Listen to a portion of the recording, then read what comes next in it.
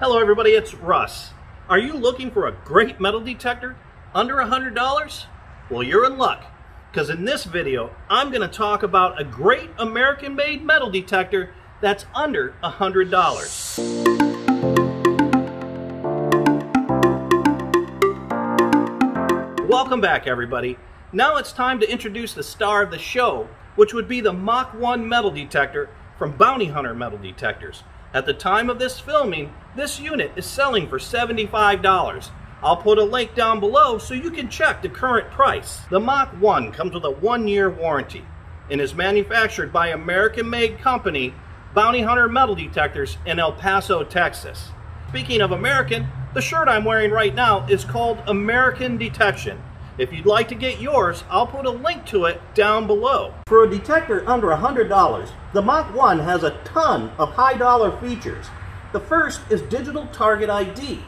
Now let's talk about Digital Target ID. The Mach 1 will tell you what the target likely is through Target ID categories. Each Target ID category represents a different type of metal makeup. Alright, so the first target is going to be an iron or ferrous screw. You'll notice that FE popped up, the first category, and we have that low tone. All right, so now we're going to do a US nickel. You'll notice you had that mid-tone, in the number three category lit up. All right, the next target will be a silver quarter.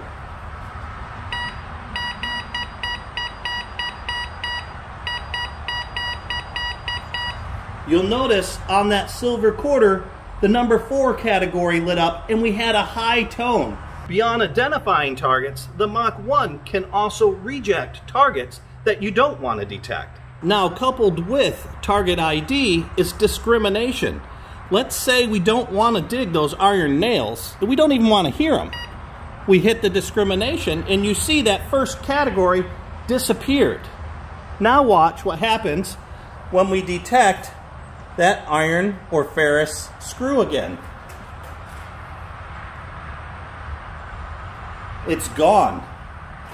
Let's bring that back in. We'll go all the way through. So we've got it back in now. Now listen.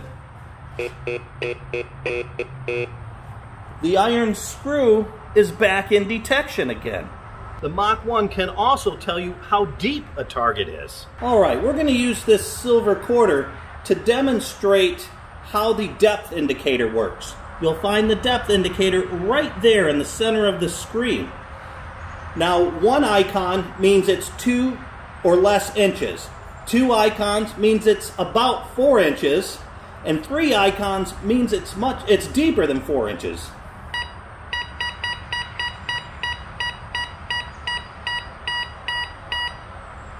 Now what I did there was take this silver quarter and moved it back. Started real close and then kept moving back. So the Mach 1 can detect a coin-sized target deeper than 6 inches.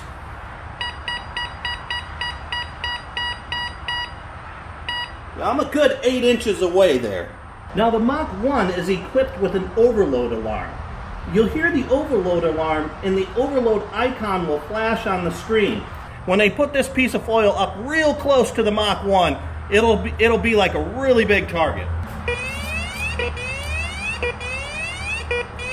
Don't worry, this won't harm the Mach 1. The Mach 1 is simply telling you that there's a very large target or a highly conductive target. To continue detecting, simply raise your coil away from the target a little bit. The Mach 1 has three levels of adjustable sensitivity, high, medium, and low. Now the Mach 1 also has a battery status indicator, so you'll never be surprised with dead batteries when you're out hunting. The Mach 1 will operate for about 40 to 45 hours on 9 volt batteries. Now you can use rechargeable, just make sure that your rechargeable 9 volts are from a quality source. Well that's it for the Bounty Hunter Mach 1. Again, at the time of filming, this metal detector is selling for $75.